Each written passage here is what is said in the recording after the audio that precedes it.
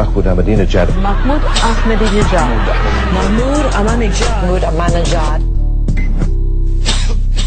So, Professor, President, you have the floor, sir. ترجمه همزمان هست. خانم ها و آقایان قصد دارم در فضای پر التهاب کنونی به برخی چالش های مهم موضوعات مهم اشاره کنم پیشنهادات خود را ارائه کنم. موضع ما کاملا روشن است. ما می‌خوایم جد خدای دنیا باشه اتفاقا ریشه همه جنگ های دنیا همینه. ما می‌خوایم جبهه اصلی بمب بشود. ما می‌خوایم نفت تبدیل به گلوله و موشک و بمب بشود. یه جا هم می‌زنن چل متر زیر رو سوراخ می‌کنه اصلا. اونا دیگه چیز من می‌خوام به شما عرض کنم من مذاکره نخواهم کرد. من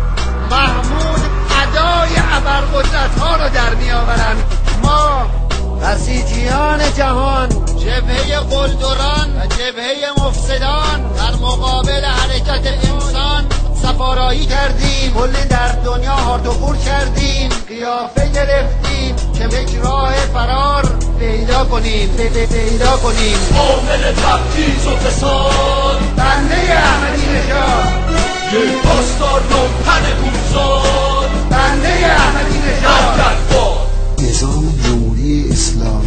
نه پایه‌ای داره نه چارایی داره هیچی نداره. وظیفه دولت وحشیگری است. اشکالی نداره. بالاخره انتخابات نزدیک است. انتخابات حساسترین موضع انتخابات خیلی مهمه. دوستان ما لهله می‌زدن و خیلی تلاش کردن که یه موقع کسی جانمونه جایی.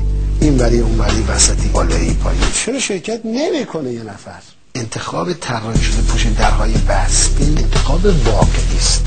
قانون مال غربیاست یه خودی هم شکمشون رو صابون نزنه.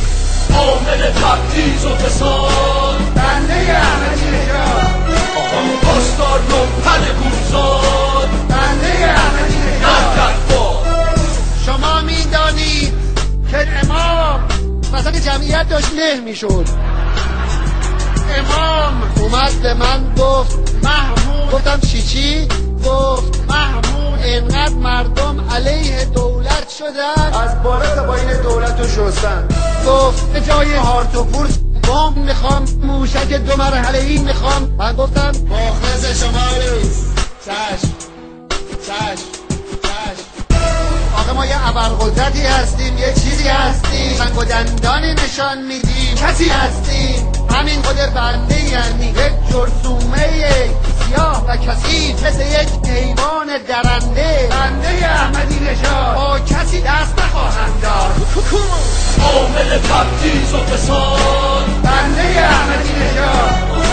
پاسدار لومپن گوزاد بنده احمدی نژاد. در پایان دست دارم اشاره کنم که فروپاشی ما نزدیک است. حسابی هم هست. جدیتر از جدی هم هست.